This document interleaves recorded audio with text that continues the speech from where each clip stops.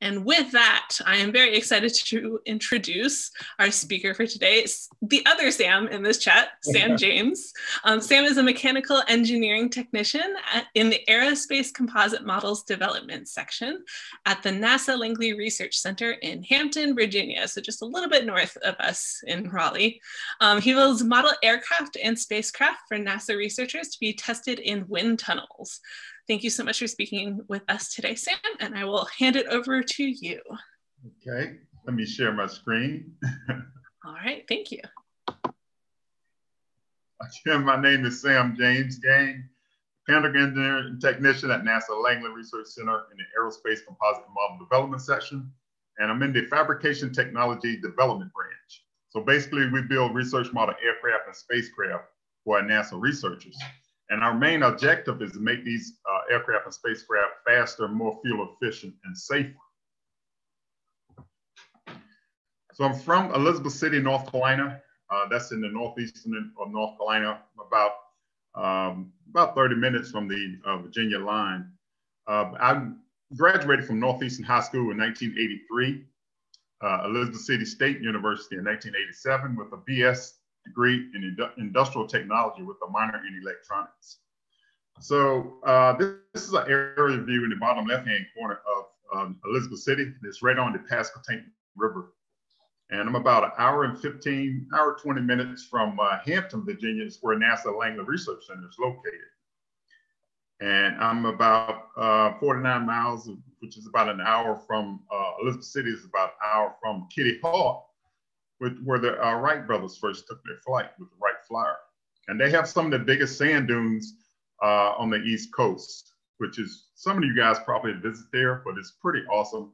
I frequent there uh, myself, in them so close, but it's pretty awesome at Jockey's Ridge, Kitty Hawk. So these are some of the personality traits which are good to have as an engineer or engineering technician. Self-motivation, uh, being a good listener, being creative. Want to adapt to change because technology is con uh, constantly changing. Uh, use your time productively, uh, critical thinking, team working, welcome new challenges, problem solving, and patience. Critical thinking and problem solving creates inventors. That's how a lot of inventors uh, create things by using the critical thinking and problem solving. Now, I have a lot of hobbies and interests. I got into, and as I got older, my hobbies and interests changed a little bit, but uh, it's pretty cool to, to do some modeling and acting and, and, cooking. And I learned how to play the trombone in the seventh grade, uh, a little arts and crafts. But I didn't, I was in drama in high school, but I didn't, really didn't see acting in my future until someone approached me about modeling. So I did uh, runway modeling for department stores, and also I did I did runway first, and then I started doing a lot of print work. But I had an opportunity to get into acting, and I was doing reenactments for the New Detectives and the FBI Files, which are shown on Discovery Channel, and also the Interpol Investigates and um, National Geographic. so this is my journey. This is how I got started. You know, I started, you know, started in elementary, middle school. When I start brainstorming about what will I be doing, what I want to do. Uh, very, I was very inquisitive about things. I love to see how things work, uh, like automobiles, um, radios. I mean, things like that. And then I would take them apart and then put them back together. But I started out getting into airplanes, but making small um, paper airplanes and just folding and see what different types of airplanes I can make just using paper. Because just like uh, NASA engineers, they design that aircraft or spacecraft according to the capabilities of how you want that uh, vehicle to fly. So if you want a faster airplane, it has to be less, less wing area and more of a pointed nose. So uh, an airplane with more, you know, uh, lift, you need more wing area and not necessarily fast, but you're looking for something that will glide. So I got into balsa, making balsa airplanes, even boats, and then some parachutes, kites, and then I love building tree houses. So new technology fascinated me. Um, I got into fixing up bicycles in the neighborhood. So I had friends in the neighborhood that would come over and I would help them fix their bicycles. Um, so one day this happened in my home, uh, my home room uh, in middle school. My teacher asked us, you know, what we would like to pursue, what career choice we would like to pursue. And I had no idea, but I knew what I really love. I knew what I liked, which was math and science, but also I love uh, using my hands and building things. So I used my guidance counselor. So she suggested that, hey, I, you know, choose a career in technology. And so that's what I did. So I ended up choosing industrial technology. So she she uh, devised a high school curriculum for me where I took all my higher math and sciences. So at Northeastern High, um, this is some of the, the, key STEM courses that I had taken. Actually taken, I had general biology first and I was doing well in general biology. So I had my teacher to transfer me to advanced biology. And then I took my algebra and my geometry, my trigonometry, my calculus, technical drawings one and two, that's drafting. So you guys are using computer aided design now. So back then we, we used the pencil. We had the architect scale and um, mechanical drawing pencil. And then we had a T-square to do our technical drawings then. And also physics and chemistry. And my school activities, I, um, I was in football, played linebacker, uh, now soccer is center fullback, and I played baseball, right field. Now I was also in the drama club and the art club, Honor Society, and I built floats um, parades in our local uh, community. And these pictures here, this is my senior picture here, a soccer picture up top, and down the bottom was uh, a tour that it was a field trip that my art teacher took our art class on. And I think what we once we got there, we did kind of like a landscape of the Pasquotank River and surrounding areas. So it was pretty pretty neat. So this is my college days. So I entered college in 1983, graduated in 87. So when I got there, what I noticed, um, a lot of my uh, classmates didn't take the path that I took as far as taking my higher math and sciences. So, and also technical drawing in one. So what I found out, engineer graphics one and two, uh, most of uh, most of the class didn't have this in, in high school, and and um, so once the, the, the professor found out that I had engineering graphics one and two, so he had me to assist him in helping uh, my classmates uh, in drafting, and also took industrial plant management, uh, psychology, fluids technology, and statics and strength of materials. Statics basically is uh, involving like uh, truss, like um, in, in, other words, how much a bridge, how much weight can a, a, uh, a platform hold or a structure holds. And strength of materials, you're, different, you're dealing with different types of materials like graphite and fiberglass and composites. And then manufacturing processes, uh, computer programming. I have computer programming one and two also and in my college activities and what I established here, and I established studies groups when I was in high school, and this is very helpful. So you find out which classmates have the same major as you have, and you get together, form a study group, and you go. We go to the libraries when we get right before, a few days before we have our tests or final exams, and we study together, which is very helpful. And I played intramural sports. and I played uh, football, and I was in drama also in college, and I was voted Mr. Sophomore my sophomore year. So coming out of um, college, actually before I gradu graduated, a few months before I graduated, my electronics professor said, hey, Sam, NASA Langley is hiring uh, technicians. You might want to put in an application. So I thought about it. I said, yes, you know, why not? But I thought about all the competition that they were having because I know a lot of, you know, students would, you know, try to get into NASA and I didn't know if I had a chance or not, but if I didn't try, I, would never know.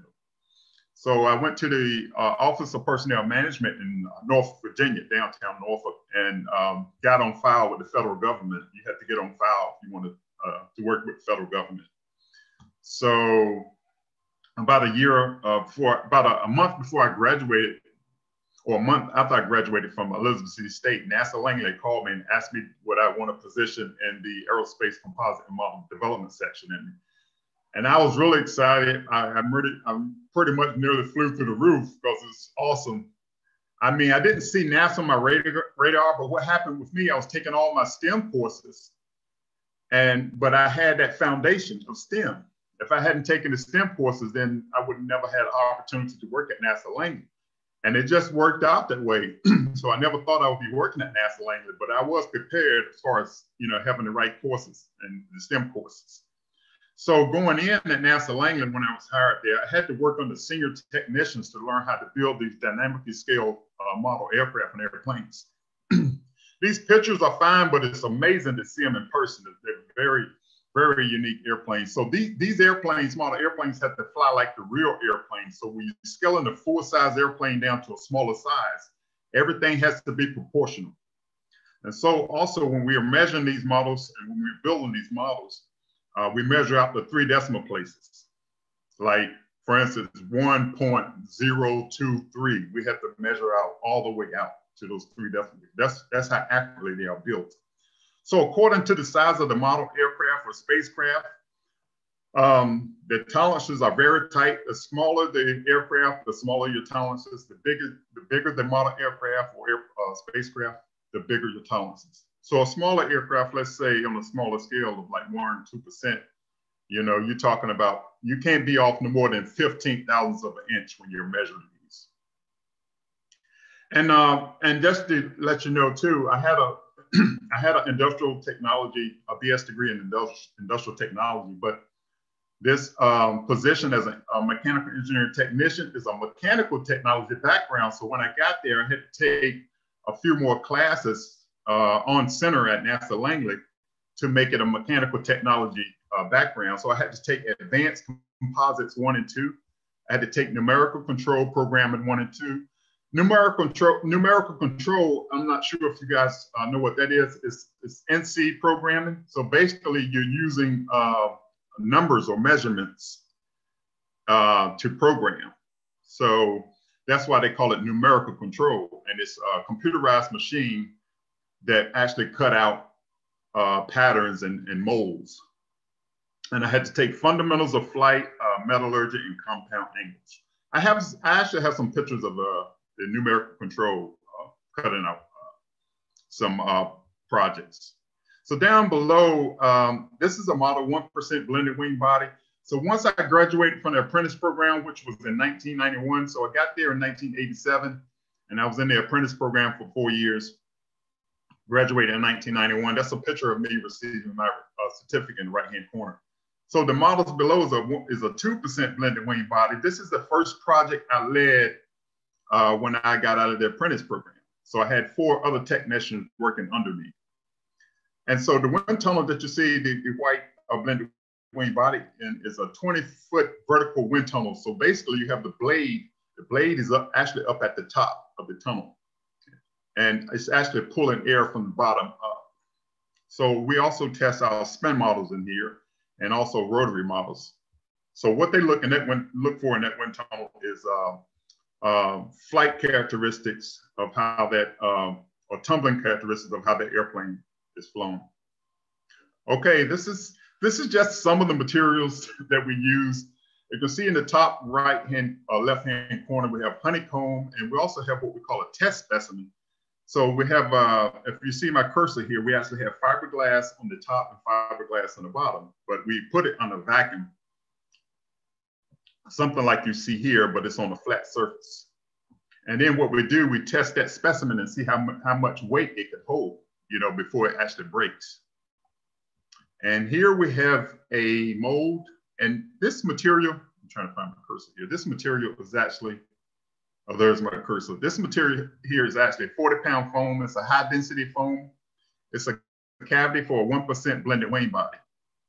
And we and that's the most crucial part about uh, making these models, model airplanes and, and um, model spacecraft, is that we need these molds to make the outer surface, which either could be fiberglass or graphite, or sometimes it could be both. And we have a um, project here. This is the back side of a, uh, a layup for a lunar rover. And you see a technician here laying out the fiberglass first. So several layers of fiberglass we had to put down first. And then we use this epoxy resin. And you see my cursor here in the middle. We use epoxy res resin with the catalyst. And then we'll saturate it with what we call a squeegee or a paintbrush. And then we'll put it on a vacuum like you see uh, right here, this model here. This is high density foam. So we have different types of density of foam. We have uh, four pound foam, what we call four pound foam, uh, 10 pound, uh, 20 pound, 40 pound foam, different. So the higher, the higher the density, the heavier the foam is. The lower the density, the lighter the uh, foam is. So down in the right-hand corner here, this is a, a, a top view of how that honeycomb looks. And as you can see, we get the idea, they get the idea for, uh, from a bee's nest. And they found out this structure is very helpful. It's a man-made structure made by a company called Hexcel. So we use that as a core in making our um, final products, but it cuts back on the weight a lot uh, because of the structure, the structure of it. So it's hard, it's hard to compress. But but trust me, anything can be broken, and these things has, have to be tested. So we have a uh, what we call a structures lab, and all they do is break uh, test specimens of composites that we produce for them, like graphite, Kevlar, and fiberglass. And they'll see how much uh, how much um, weight it takes to break a, particular test specimen. So we have graphite here on the left-hand side on this first row here, and then this Kevlar here. And this here is called prepreg. On this uh, carbon fiber on a roll here is, is a prepreg. We call it prepreg because it has resin in it already. So what we, we this is a lot cleaner. We don't have to add resin, and it has resin in it already. And, but the thing about this prepreg material, it has to go in the autoclave. So we have, have an autoclave in one of our uh, labs, and it's huge. It's like a big oven but it has to get baked at several different temperatures, anywhere from 100 degrees up to like 500 degrees. It depends on what the researcher wants. Okay, the change in technology since I've been working there. When I start working there, first started working there, we had to use the mold and pattern making process. So ba basically, you're making a mold by hand. And one one um, con about this is that it takes so long to process. It's unique and, and pretty cool to use, but it takes a long time to produce the mold. So we had to make a pattern first. We had to get uh, generated uh, sections from the um, researcher. And then we have to produce um, templates. And those templates come at different shapes. So we had to compile all these templates together you know, and do a, and cut it out with a wood. And basically we use pine wood because pine is easily to carve, carve. So in the middle here, we see a finished product of a F-18. And this is the mold here that we made that uh, pattern from, made that mold from. The pattern is right here. So pretty, pretty much once we finish that pattern, we'll cut that, cut that up and send and put it in the trash basically. And this is a pattern of the wing for F-18 right here. So basically, so basically what we use, once we produce the pattern, we lay up what we call a, a, gel coat around it, and we let that gel coat get real tacky for about an hour, let it sit. Then we, we lay up thick layers of fiberglass around it, about uh, 30 thousandths of an inch thick. And then we uh, build the, uh, the mold around it. And then we, what we'll do what we call egg crating shape. You can't see the bottom it, but we'll we'll build a structure around the mold so that will support it and keep it from warping. Okay, the second row is computerized numerical controls, computerized machines I was telling you about, will be used to cut out either patterns or molds for our product. And this is high density foam that, that is used. It has a it has a, a X, Y, Z axis. So you're talking about vertical, uh, horizontal, and also diagonal axis. And we have also what we call a five axis also. So going into 3D printing now, now uh, we're, we're producing uh, 3D printing parts. What's so cool about this is like it's overnight. You know, we could we could program something on a, on a Friday and come in on Monday and it's completed and it's finished. And so what we have here is a uh, on this table here is the newest, latest design of the blended wing body, which I have more pictures in my slides. And this is actually the full size airplane is about uh, the width of a football field, about 300 feet wide. Oops, sorry, I went, I think I went backwards. okay, no, no, no, no. Let me go back. Went too far. Okay, I'll get there soon. And in the middle here, we also build helicopters.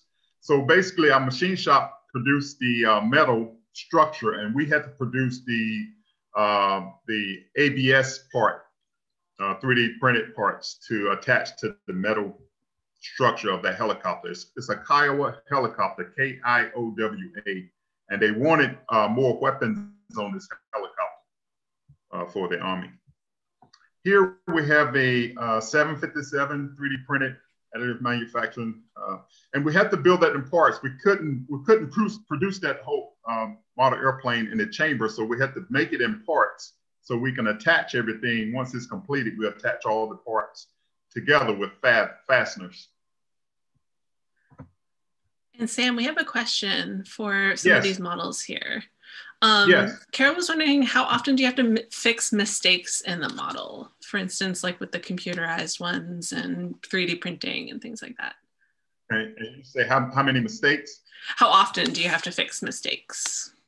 Oh, oh, luckily not too often. Um, That's good.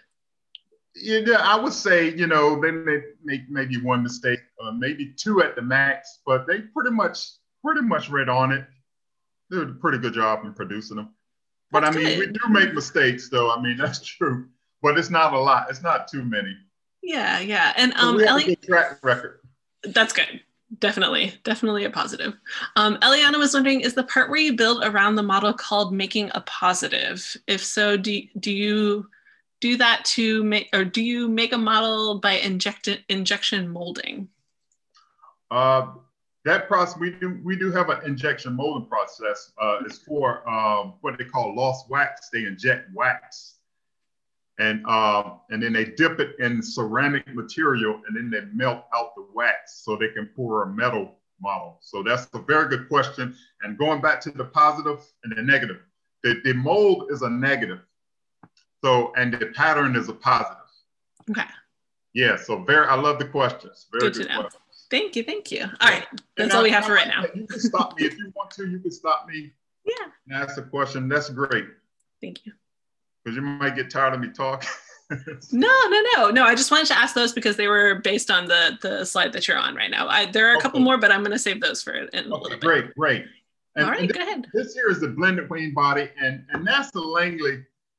Uh, this started back in 1990 and uh, they they partner with Boeing, the airplane industry. They actually make the full size airplanes, and some other partners investigating this this uh, design. That's why they call it the blended wing body because the whole model itself was like a wing.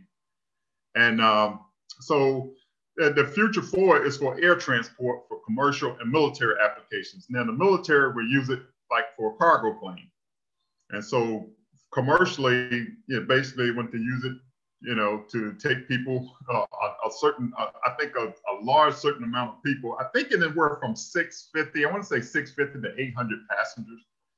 So the reason why they was come up, coming up with this because at the time a lot of people, more people were flying at the time, and they wanted to be able to accommodate them. But um, so that that had changed because, and we was we were doing this uh, for Boeing uh, in 2011 when the 9/11 attack hit.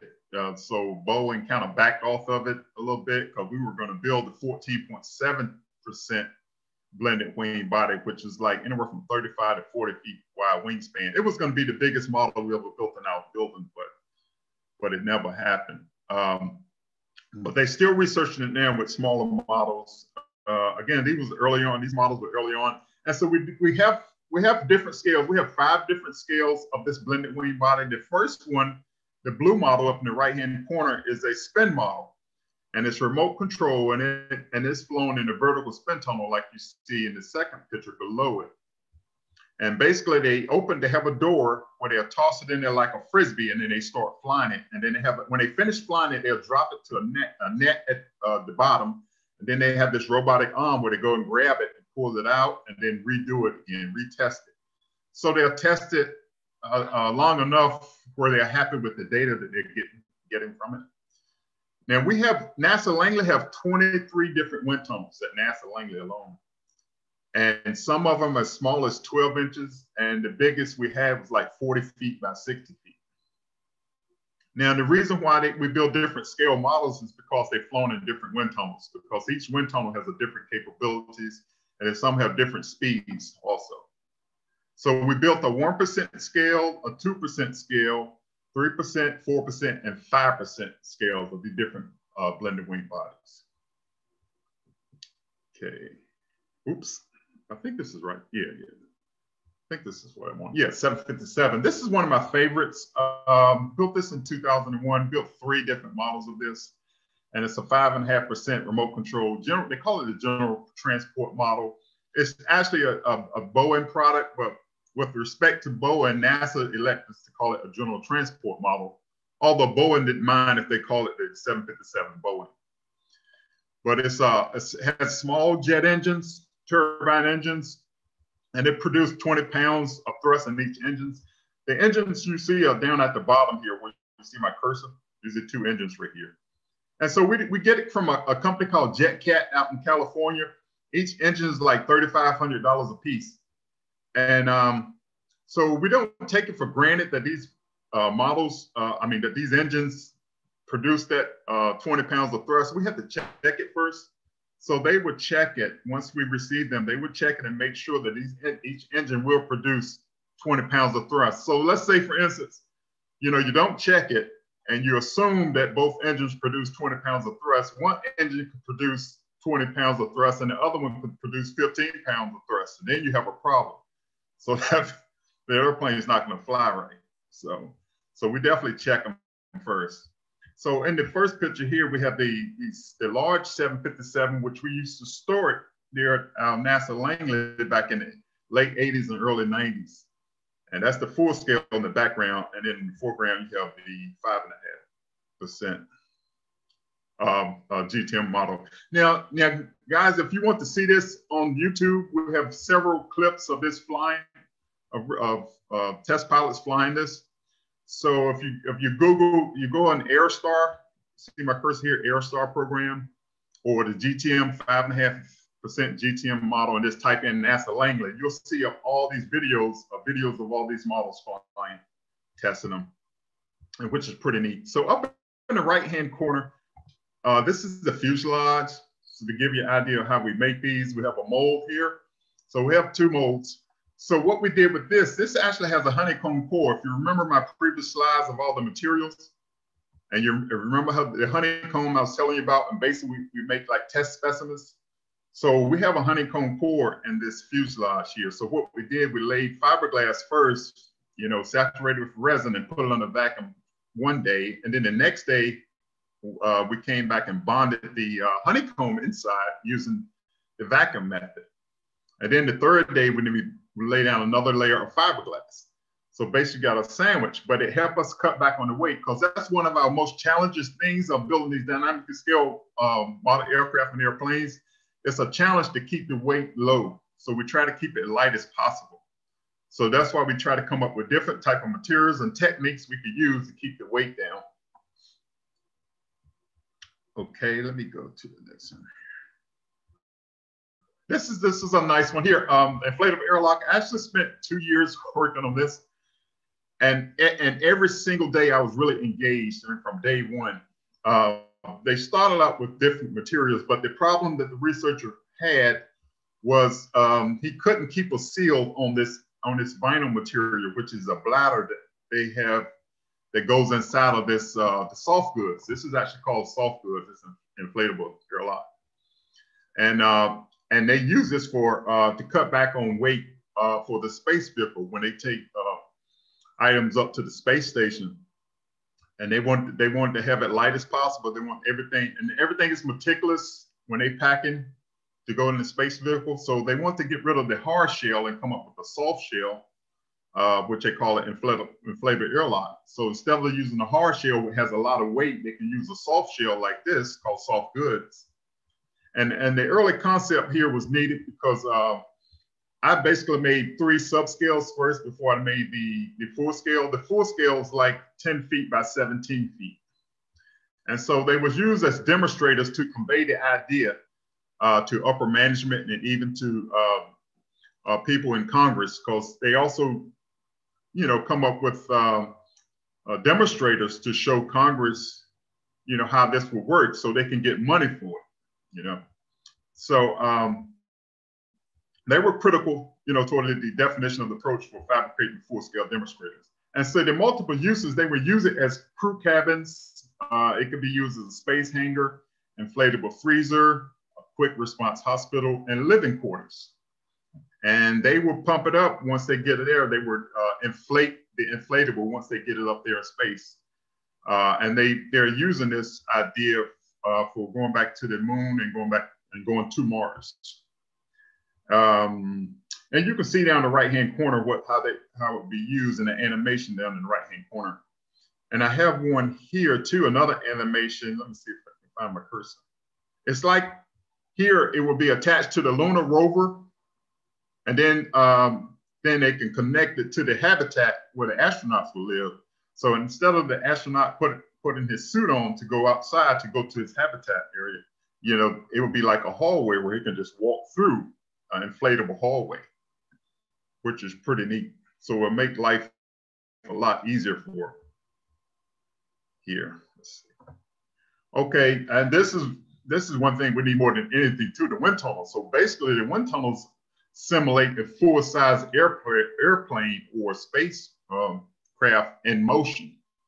So they have to use um, a wind tunnel uh, with uh, which large uh, blades, about 16 feet. Well, this particular one, the transonic tunnels, I think they have uh, the blades of like six, 16 feet on some of the tunnels here. But um, you have a subsonic tunnel, which is speeds below the speed of sound. The transonic is speed of sound. And you have a supersonic, which is about five times the speed of sound. And then you have, uh, we have spin models also. But so basically, again, you simulate uh, the environment of a full-size airplane that's in motion. And we also, back in the late 80s and early 90s, we also had the NASCAR guys coming in and using our wind tunnels. So basically, uh, you, you check for, they check for aerodynamics, aerodynamics on a, on a, a automobile, just like they do an airplane. So, and their main objective again is make them faster and lighter and more fuel, fuel efficient. So when you make them lighter, that means the material is going to change. So back, you know, 30, 40 years ago, they used to make all these cars out of metal. So now they're making them what like fiberglass and plastics, you know. So the but the frame itself is is still uh, made out of metal, but then the outer surface of it is more like fiberglass and glass hard plastics to cut back on the weight to, for a better fuel economy. So the orange, orange tunnel here is pretty neat. That's, that's a hypersonic tunnel. That's 4,000 miles fast. That's uh, anywhere from, I think they get up to like 10 to 11, no, 10 to 14,000 miles per hour of speed that they're testing. So they are testing what they call a national aerospace plane that's supposed to fly at those speeds. I think up to like 17,000 miles per hour but that's like way in the future. I mean, it could go above, it'll go up in the upper atmosphere where you don't have any air at all, which you wouldn't need the air because it's moving so fast. So therefore, it will have not much wing area, but it have very thin, you have a very thin surface and very thin wing area because of the speeds. Okay. And it's also awesome working with NASA interns. We have uh, high school and college interns and these groups here, the big groups, they're actually, they actually came in under a, a aerospace, aerospace academy um, that was coordinated by, I think, NASA headquarters in DC. And these kids come from different, uh, they have different career, different uh, concentrations as far as their careers, and they're from different universities all over the nation, Texas A&M, Georgia Tech, Virginia Tech. So and then they had to come together uh, and with this project. And the, the, the black and yellow model that you see there is a UAV that's supposed to uh, enclose a package, just like Amazon and Google wants to do. So they have to, they have, so they're given, they're given the, uh, the instructions on what, what they're supposed to do. And then they have to build this, they have to struct, uh, construct this. And then that's when I was asked to, you know, to help them you know, find the materials, help them do the vacuum layup. So I assist them, you know, much as I can uh, for them to make the structure here. So, but but they did the majority of the work. Um, you have a software engineer, you have a mechanical engineer, you have aerospace engineers. So all of them had to come together collectively to make this happen. And each one of them had to give a five minute presentation on their part, what they had to do uh, to complete this model, to make this model uh, a success. Uh, the group here um, in the left hand corner, the um, two guys with the red shirts, they had to make a flexible, they call it a morphing, a, a flexible wing where it could adjust to the outside environment. It's called morphing.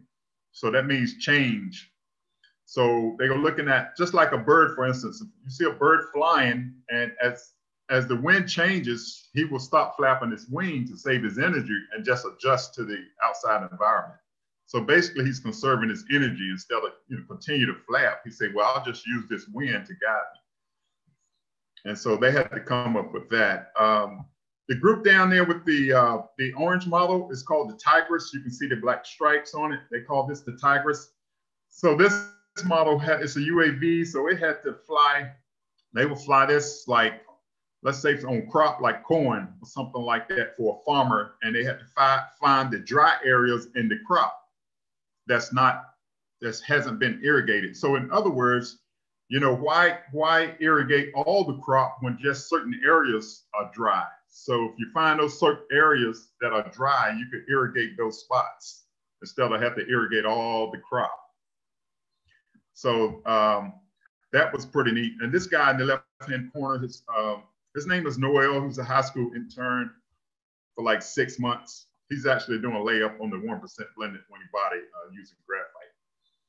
So once he finished too, he had to give a, a presentation also of why uh, NASA uh, chose this particular design and how it was tested. And the guy on the right was Lane uh, Thomas uh, out of West Virginia. I think he went to University of West Virginia. He he is holding a 50% scale Mars flyer.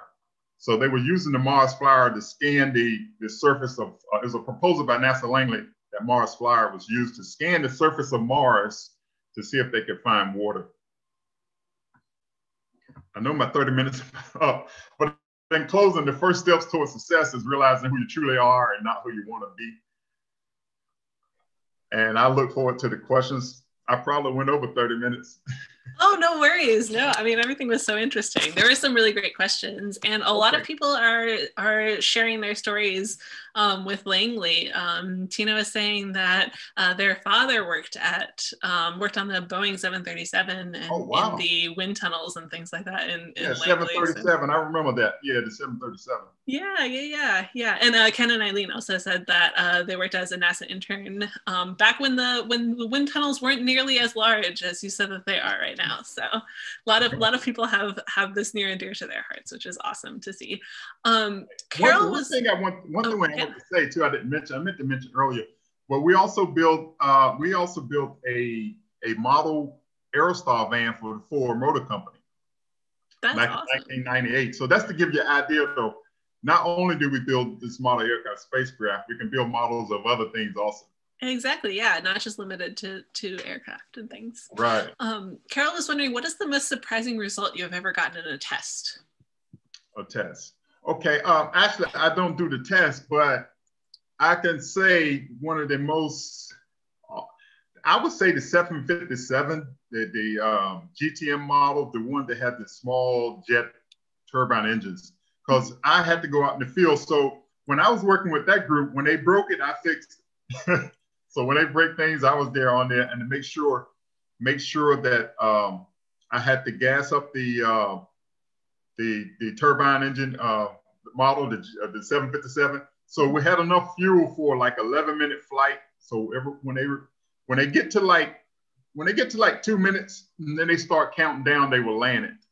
So I take care of that and I make sure the batteries are charged in the airplane. But it's a fascinating airplane to just to see it could they could fly it up to 200 miles per hour.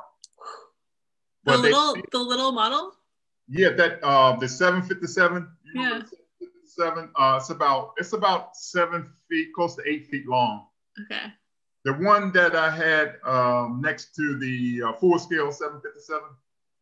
Yeah, yeah, yeah. yeah. Wow. Yeah, you get up to 200 miles per hour. Wow, that's but incredible. Check those videos out. You wouldn't believe it on YouTube. Yeah. A lot of it on YouTube. You can see it. Yeah, definitely. Yeah, we pasted one of the one of the videos, but I'll have to see some more because yeah, that yeah, was really fascinating to me to see that. You know, I'm like wow, just in like action. Yeah, but but for that airplane, it's called refuse to refuse to crash. So they built it for the the uh, the AirSTAR program. So what they want to do is be able to take the controls from a pilot if he have a if he make an error, if the pilots make an error, or if you have a component error on the airplane, that someone remotely could take the controls from the airplane and land it without the pilot even doing anything. So yeah. it's pretty pretty cool research that they're doing. Yeah, I mean that's one of the amazing things, you know. You, you know, although you work there, you're in your little compartment, but then you see what's going on around you. It's amazing to see other things that are going on around you. Yeah, definitely agreed. Um, okay, Dan was wondering, uh, going back to the inflatable space habitat that you were talking about, um, how safe would the soft product areas be from micrometeorite impacts? Micrometeor, and that's, I mean, yeah, that's what they would try to avoid, um, you know, stuff like that. But the material is tough, though. It's made out of material called Vectran, and it's supposed to be just as tough as Kevlar. Okay. So that that's a good question because this this is the reasons why they're using this type of material. Because you go up there, it could be you know it could be submitted to different things like what you mentioned, you know, up in space. Yeah. So it has to be tough. It has to be a material that's not easily unraveled or damaged. Mm-hmm. So that is a good question. Definitely, yeah. Um, and Tina was wondering. Okay, so so you mentioned that it was named like the AirSTAR product, and where where did AirSTAR come from? Um, actually, this the research the researchers named it Air uh, AirSTAR. Okay. Uh, they just came up with that name. yeah, yeah. Uh, I like but that. I think now I think it's a, I think the star is an acronym for something, but I, I can't remember it. Okay. Yeah, yeah, yeah. But they use a lot of acronyms though. I, yeah, I was gonna say that's that's one thing that I've noticed this week is that there are there are a lot of acronyms, but I mean. Yeah makes sense. Easy way to remember things. Yes, and we did we do get people. We had Jackie Chan. I'm quite sure y'all heard of Jackie Chan, but he he had come to our uh, section for a tour. But he was at NASA Langley doing a, um, he was doing something for the PBS station, public broadcasting station, uh, in our wind tunnels. And so his his group, uh, whoever was in charge of that, was you know thought that he would love to see you know, our uh, section, the models and all, which he did. He really liked it, but it was cool to have him in our in our building. Yeah, that is awesome. Yeah. Um, okay, MJ is wondering, are you planning on working on any SSTO or space planes? SSTO, most likely, probably. And and see, that's the thing. So those NASA researchers, they come up with all these new and innovative ideas. So whatever they bring to us, then they'll come to us and say, well, because they have they have some companies on the outside can do do this some of this stuff, but they rather have it in-house, right, mm-hmm. you know, built right there where they are. And so they'll come to us and say, hey, you know, they'll they'll tell us about the project, show us the plans, and then ask us, could we do it? And so basically, we build any new innovative ideas that they have. We pretty much try to bring it to life. Yeah, which is awesome. I mean, like your team yeah. is the one that like brings it from paper yeah. into like, you know, yes, yeah. this is a possibility. Because we have made fake asteroids too. Oh, really? Come through, yeah, we have made fake asteroids. So oh, that's fun. They needed an asteroid. are they are like are those would those be used in like the wind tunnels or they use that to simulate um and they didn't they presented this to congress and it fell through congress didn't buy into it but it was for um, they want to they want to capture an asteroid and examine it, take some take some of the material out of it and examine it and to mm-hmm. see the composition of it, what it's made of, and all. And uh, so basically, we made the asteroid, but what they did, they put 20,000 pounds in the middle of that asteroid that we made so it can simulate the asteroid as much as possible. Yeah. And so they presented it. They presented it because we had some uh, people from Congress come to the center to see the demonstration, and and then at the end, the end, the Congress didn't buy into it because they were trying to get money funding for it, mm-hmm. but Congress didn't buy into it, so they had to scratch scratch that product. Yes, yeah, that's the the bane of the existence is trying to find the funds, right? I know. Yeah. All right, that is really cool though. I hope that in the future we'll be able to do projects like that true. where we can like exactly because just because just because they scratch a project now doesn't mean it doesn't come back. yeah, yeah, yeah, yeah, definitely. Right. Yeah, we've definitely been been yes, that is something that would be really cool to see in the future.